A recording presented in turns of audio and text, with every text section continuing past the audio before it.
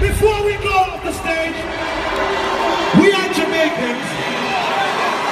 This is a little small island in the Caribbean. Respect